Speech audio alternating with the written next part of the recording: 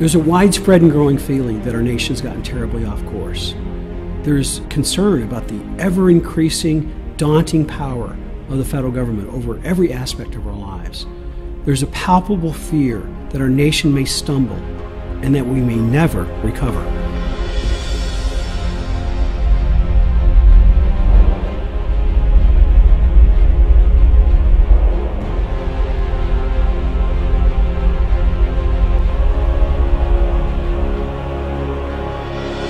Think it is an imperfect document that reflects some deep flaws in colonial culture nascent at that time. The Constitution's goal was to limit the power of government. Today, the government has abandoned that whole crazy idea and kept the power for itself and keeps gathering more. The Constitution was not written in the name of the leaders, but it was formed by the authority of we the people.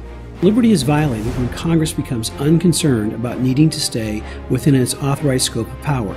And it was expected from the very beginning of the nation that there would be people that would effectively enforce the sworn duty of every leader to preserve, protect, and defend the Constitution.